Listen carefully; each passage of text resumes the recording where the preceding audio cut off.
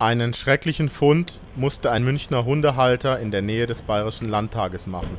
In den Parkanlagen an der Maria-Theresia-Straße stöberte sein Hund auf dem täglichen Spaziergang die Leiche eines Neugeborenen auf.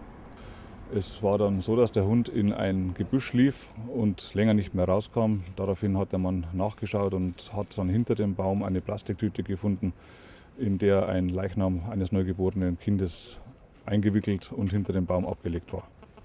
Polizei und Gerichtsmedizin machen sich daran, die Umstände des Leichenfundes zu erhellen. Also man kann momentan überhaupt noch nicht sagen, ob es sich um eine Totgeburt gehandelt hat, ob das Kind gelebt hat und nach der Geburt getötet wurde. Das alles muss durch eine Obduktion geklärt werden. Das äh, Neugeborene ist auf dem Weg in die Rechtsmedizin, wo die entsprechenden Untersuchungen dann durchgeführt werden. Dann kann man erst mehr sagen. Dann kann man auch das Geschlecht bestimmen. Das ist momentan auch noch nicht äh, zu klären gewesen hier am Fundort. Die Obduktion des gefundenen Neugeborenen soll nähere Erkenntnisse bringen. Hat das Kind gelebt? War es eine Totgeburt? Ist es unmittelbar nach der Geburt gestorben? Wurde es vielleicht sogar getötet? Das sind alles Sachen, die wir äh, wissen müssen, um dann auch die weitere Sachbearbeitung entsprechend äh, voranzutreiben und entsprechenden Fachleute dann damit zu beschäftigen.